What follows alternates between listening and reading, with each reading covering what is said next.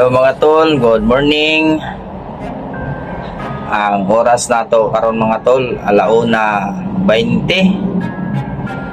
Pinadalaw tayo ng antok mga tol, kaya mag kape muna tayo.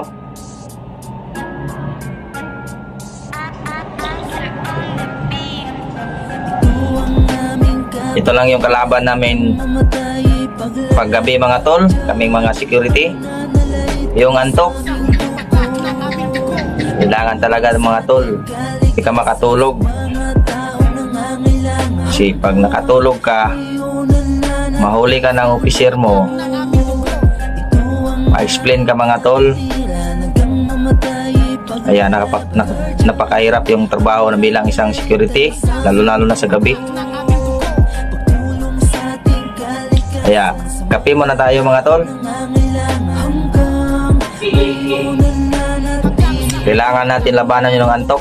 Dinami-dami ng mundo Kasi mahirap na kasi yung area area na pinagsisitihan ko mga tol. Napakadelikado pag magpatulog-tulog ka.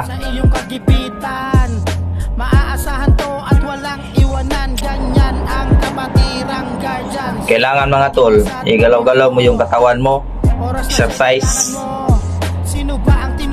Para mawala yung antok.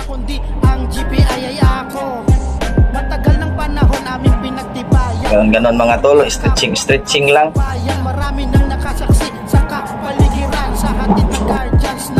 Mahirap pag nakatulog ka. Kasi napakadelikado ng buhay mo.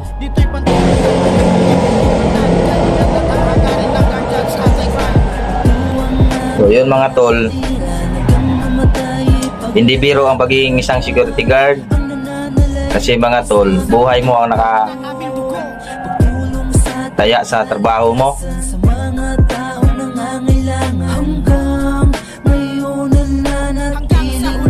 Pag nahuli kang tulog, dalawa lang yung hantungan mo mga tol. Isuspended ka or mapatanggal ka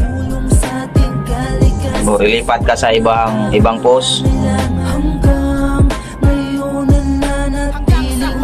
Kaya sa gabi mga tol, kailangan alert, always alert, naglilingkod lalong-lalo na pag open lalo open area yung posting mo mga tol. Gaya dito sa Pinagyutihan ko. Kinabibilangan namin. Respeto laging taon saan man Mapadpad saan man mapalapag. Kaya sa mga ibang 5'9 dyan, Kahit saang lugar Yan ang guardian sa ating pag sa gabi yung duty nyo, Ginagalang ng lahat mga di natin maiwasan mga tol na makatulog. Pero kung kayang labanan yung antok, labanan mo, isipin mo palagi na delikado yung buhay mo. Yung antok, madali lang yung labanan. Igalaw-galaw mo lang yung katawan mo. Palakad-lakad ka. Ganyan, patay tayo. Ay, mag-iisa Mula noon hanggang ngayon ay nandirito pa Pangakong habang buhay kang may kasama Tuwang naming kapatiran hanggang mamatay paglalaban Ang Kaya mga tol, yung tips ko, kung gabi yung duty nyo mga tol, yun lang ang gagawin nyo. Kung hindi kayo, antukin pa rin kayo kahit nagkapi na kayo. Bukan nyo igalaw-galaw yung katawan nyo mga tol para mawala yung antok nyo.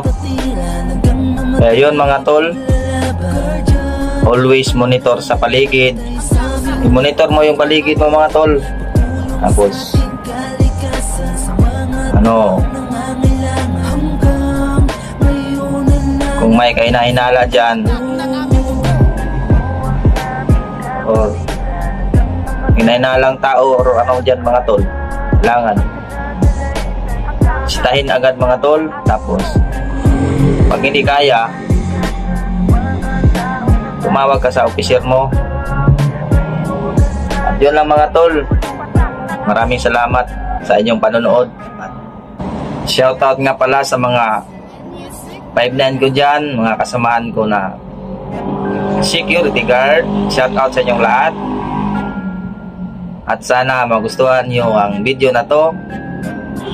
At huwag nyo po kalimutan mag-follow sa aking page, Facebook page, Buhay ni Bin, at saka yung YouTube channel ko mga tol, Buhay ni Bin rin.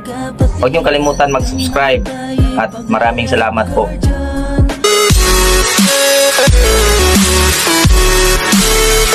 Thank